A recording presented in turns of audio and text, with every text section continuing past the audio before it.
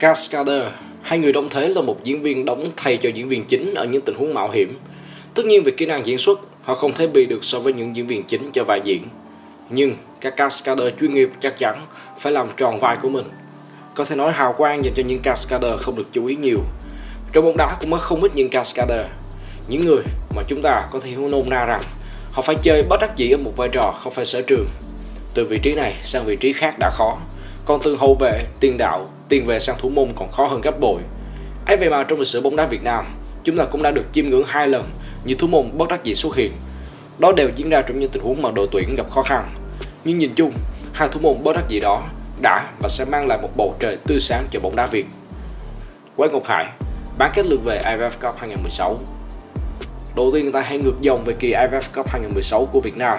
Huấn luyện viên lúc bấy giờ là Nguyễn Hữu Thắng đã đem đến một đội hình với sự kết hợp của những cầu thủ trẻ được kỳ vọng như Văn Thanh, Công Phượng, Xuân Trường hay những cựu binh như Thành Lương, Công Vinh, Trọng Hoàng, Văn Quyết. Với một đội hình đó, chúng ta nghiễm nhiên trở thành ứng cử viên số 1 cho ngôi vô địch. Vào năm 2012, ở 4 năm trước, đội tuyển Việt Nam đã thất bại và 4 năm sau, người hâm mộ kỳ vọng Nguyễn Hữu Thắng sẽ mang đến một làn gió tươi mới trên nền bóng đá nước nhà. Dù thi đấu không quá xuất sắc, nhưng Việt Nam cũng đã vượt qua vòng bảng một cách khá êm đềm. Ở ba trận đấu vòng bảng, thầy trò Hữu Thắng đều đánh bại đối thủ với cách biệt một bàn. Vào đêm bán kết lượt đi, Việt Nam phải làm khách trên sân của Indonesia. Tại thánh địa Pakansari, may mắn đến với đội chủ nhà khi họ mở tỷ số ngày phút thứ bảy nhờ công của Hasamu. 10 phút sau, Văn Quyết sang bật cách biệt và phá đá phạt đền thành công. Thế giằng co của trận đấu cuối cùng cũng được giải quyết bằng một quả phạt đền thành công khác của Boaz Salosa. Việt Nam chấp nhận thất bại 1-2 và chờ cơ hội trong trận lượt về tại Mỹ Đình. AFF Cup dường như là một giải đấu của những biên số. Việt Nam luôn được đánh giá cao tại khu vực nhưng cũng gặp rất nhiều khó khăn trước các đối thủ. Rất cần bàn thắng, nhưng Việt Nam lại không thể mở điểm trong hiệp 1 trước Indonesia ngay tại sân nhà. Ngay đầu hiệp 2, Lily Pali đã khiến nhiều cổ động viên Việt Nam nghĩ về cơn ác mộng khi ghi bàn thắng giúp Indonesia vượt lên. Lúc này, cách biệt tổng tỷ số đã là hai bàn và thầy trò Nguyễn Hữu Thắng rơi vào thế không còn gì để mất. Việt Nam đã cao đội hình tấn công, nhưng khi mà các tiền đạo còn chưa kịp nổ súng thì thủ môn Nguyên Mạnh đã mắc sai lầm. Phút 75, anh có pha đánh ngồi với Granada nhưng không qua mắt được trọng tài Phu Minh. Trọng tài người Trung Quốc lập tức rút thẻ đỏ với thủ môn sinh năm 91. Không còn quyền thay người, Nguyễn Hữu Thắng buộc phải lựa chọn với Ngọc Hải là người gác đền bất đắc dĩ. Nhưng cũng chính vào lúc rất nhiều người đã không còn nghĩ về một kết quả tốt cho Việt Nam thì bất ngờ đã xảy ra. Phút 83, Văn Thanh của mình tỷ số một đều với pha dứt điểm đầy khó chịu. Sau đó, cảm xúc của hàng triệu người hâm mộ nước nhà bùng nổ khi Vũ Minh Tuấn thoát xuống và dứt điểm tung lưới Indonesia ở phút bù giờ thứ ba, nâng tỷ số lên 2-1 cho Việt Nam. Khi đó, tổng tỷ số theo luật sân nhà sân khách là 3 đều, nên hai đội phải bước vào thời gian hiệp phụ. Dù vậy, đây là lúc mà yếu điểm của thủ môn bất đắc dĩ của Ngọc Hải bộc lộ. Phút 96, hàng thủ thiếu người của đội tuyển Việt Nam để cho Ferdinand thoát xuống và thủ môn không chuyên của chúng ta không còn cách nào khác buộc phải phạm lỗi với đối phương. Trên chấm luân lưu, Quế Ngọc Hải không thể tạo nên phép màu khi nhìn bóng bay vào lưới phút 105. Quế Ngọc Hải lần thứ hai bị thổi phạt trong vòng cấm sau pha va chạm với một cầu thủ bên phía Indonesia. Xuân Trường ra sức giải thích và trao đổi với tổ trọng tài. Quyết định thổi phạt đền này đã bị hủy bỏ. Dù vậy, Việt Nam cũng không đủ sức ghi thêm bàn thắng để tạo ra cuộc lội ngược dòng lịch sử. Chung cuộc, sau hai lượt trận bán kết, Việt Nam nhận thất bại trước Indonesia với tỷ số 3-4.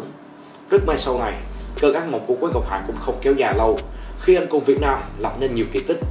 Chiếc áo thủ môn bất đắc dĩ cũng lùi sâu vào kỷ niệm với Quế Ngọc Hải.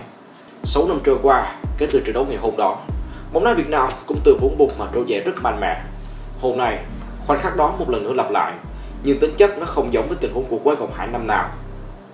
Nhâm Mạnh Dũng, tứ kết U23 châu Á 2022 Vòng chung kết U23 châu Á 2022, Việt Nam hành quân đến Uzbekistan với tâm thế nỗ lực trong từng trận đấu.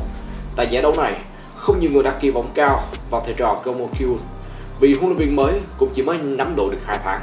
Còn các cầu thủ thì cũng thiếu sót kinh nghiệm trận mạc. U23 Việt Nam nằm ở bảng đấu có sự góp mặt của hai đại diện Đông Nam Á là Thái Lan và Malaysia, trong khi đội còn lại là Hàn Quốc. Một bảng đấu không quá khó thở, nhưng sự cạnh tranh là rất gắt gao. Rất may, Việt Nam đã làm được điều nhiều người mong muốn, đó là vượt qua vòng bảng.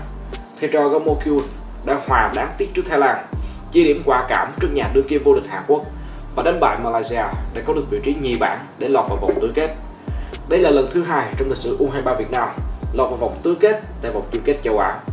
Ở lần đầu tiên, đó là một sự ngọt ngào mỹ mãn cho người hâm mộ bóng đá nước nhà khi chúng ta giành được ngôi vị Á quân. 4 năm trước tại Thường Châu là những kỷ niệm đẹp và người hâm mộ có quyền mơ điều này sẽ một lần nữa lặp lại. Chứng kiến sự phá cách, khoa học và bài bản mà đến nhiều sự tích cực trong lối chơi mà Gomo Kyun mang lại. Người hâm mộ có lý do để tin rằng U23 Việt Nam đủ khả năng tiếp tục tạo nên bất ngờ ở tứ kết. Chúng ta gặp Ả Rập Saudi. Trước trận đấu, giới chuyên môn đã nhận định đại diện Tây Á sẽ sớm có vé vào bán kết. Thực tế đã diễn ra không nằm ngoài dự đoán, nhưng U23 Việt Nam vẫn giúp cho người hâm mộ tự hào khi ngẩng cao đầu rời giải. Thầy trò Gomo tiếp tục chọn một thế trận phòng ngự phản công chủ động. Những chiến binh sao vàng trẻ cũng có nhiều tình huống lên bóng đáng chú ý và nếu cú sút xa của Minh Bình thấp hơn một chút nữa thôi, đó sẽ là bàn thắng cho U23 Việt Nam. Tuy nhiên, chúng ta đã không thể đứng vững đủ lâu khi đối phương ghi được hai bàn thắng. Phút 79, trong một tình huống lao ra truy cản, pha bắn chuẩn phạm lỗi với Ferraz ở ngoài rất xa vùng cấm, nhưng là trong tư thế đối mặt. Pha quay chậm cho thấy thủ môn của chúng ta đã vào trung bóng, nhưng tốc độ và tính chất của pha bóng là nguy hiểm. Vì vậy, trọng tài người Nhật Bản rút thẻ đỏ trực tiếp cho Văn Chuẩn. Huấn luyện viên Gong cũng hết quyền thay người. Để rồi, ông phải kéo nhanh Anh Dũng về trấn giữa khung thành. Có lẽ tại U23 châu Á lần này, không cầu thủ nào có được sự đa năng như Nhâm Mạnh Dũng. Anh chơi xuất sắc ở vị trí trung vệ trong trận đấu gặp Thái Lan, chơi tuyệt hay ở vị trí tiền đạo khi gặp Hàn Quốc và Malaysia. Ngày hôm qua, trước Ả Rập Saudi, Mạnh Dũng cũng thể hiện được khả năng chọn vị trí khôn ngoan cùng kỹ năng đánh hơi cơ hội nhẹ bén.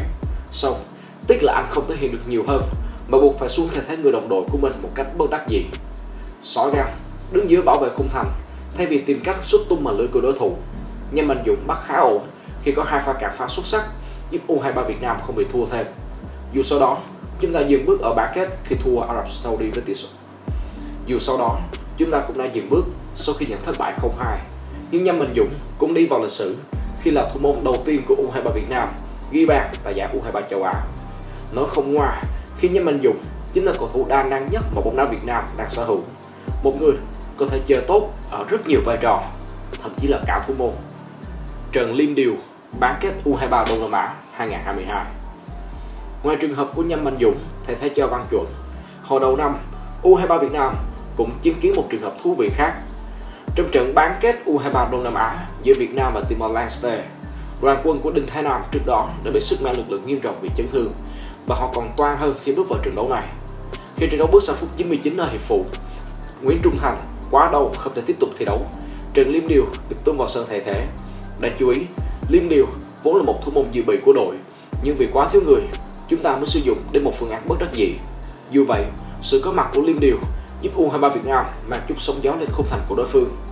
Liêm Điều có một pha làm tường tốt và mở ra cơ hội dứt điểm cho các đồng đội. Điều đáng tiếc là bàn thắng đã không đến. U23 Việt Nam phải bước vào loạt sút luân lưu sau 120 phút hòa không đều. Trong loạt sút này, U23 Việt Nam giành chiến thắng với tỷ số 5-3 trước Timor-Leste. Trần Liêm Điều cùng các đồng đội của mình ăn mừng trong sự vỡ òa.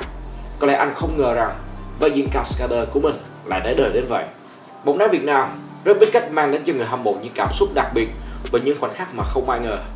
Hai thủ môn bất đắc dĩ trong lịch sử của chúng ta, Quế Ngọc Hải và Nhâm Mạnh Dũng, rõ ràng là những người hùng.